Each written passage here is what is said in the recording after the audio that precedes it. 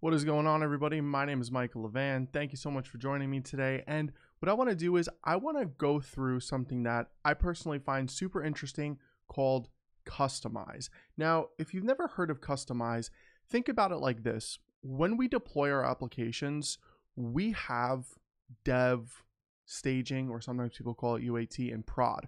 Maybe there's even a fourth stage in there called QA.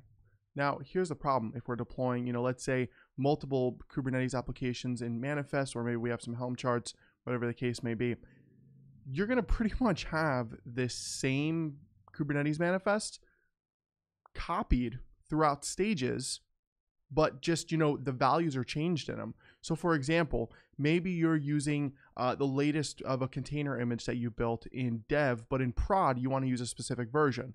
Maybe in dev, you want to run one replica for your pod, but in production, maybe you want to run three to five. So it's like literally the same, well, the same Kubernetes manifest, but it's a little bit different. So how can we kind of get around that? Well, there are a bunch of different ways, but one way that I really like is Kustomize. So with Kustomize, you essentially have one base Kubernetes manifest and then maybe you have some directories called like dev staging prod and then within each of those directories you have essentially environment files or environment variable files. So let's go ahead and take a look at what that kind of looks like here. All right, so first thing that I'm gonna do is I'm gonna create a directory called base. Now inside of my base directory is where I'm going to have maybe a deployment.yaml. Okay, so what I'm gonna do is I'm gonna go ahead and I'm gonna copy one of my deployment.yamls here and I'm gonna paste it in.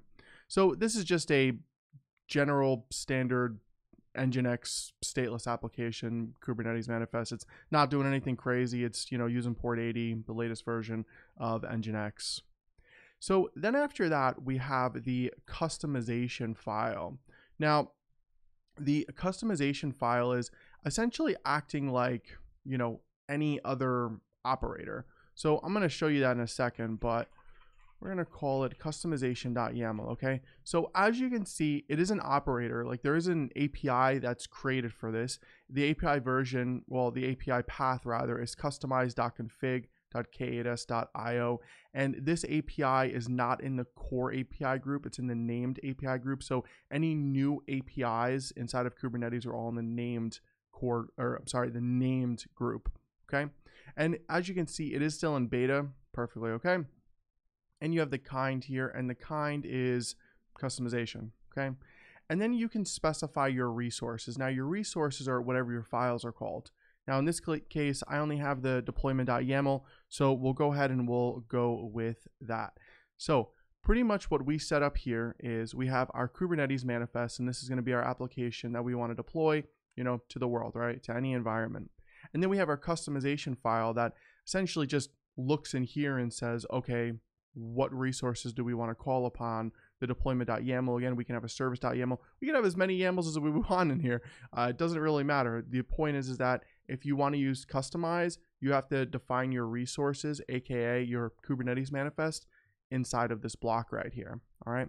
So now let's create a new directory called overlay and then inside of here we'll call this maybe dev right so oops sorry this actually should be a directory. Let's try that one more time. Coffee is still kicking in this morning. So we're going to have one called dev, okay?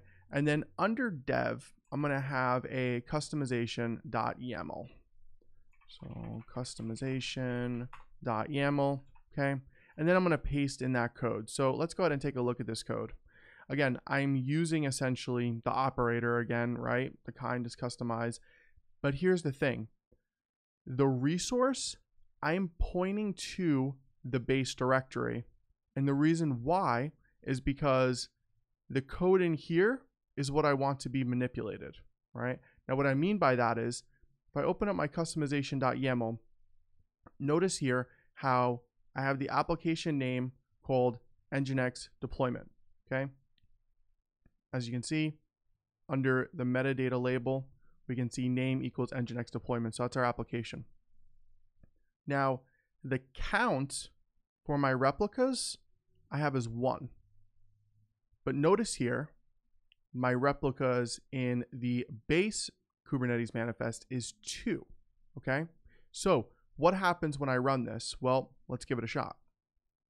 So I'm going to open up my terminal here. And then what I'm going to do is I'm going to run a command called kubectl minus k.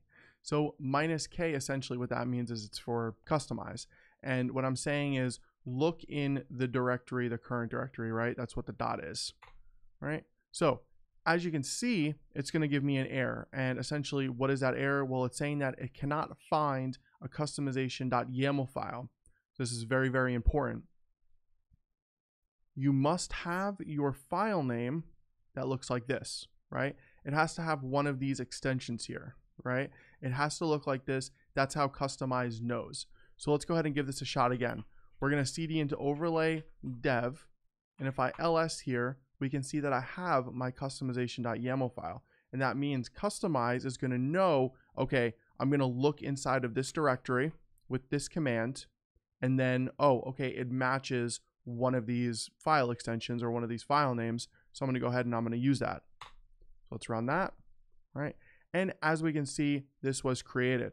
So if I run kubectl get pods, check it out.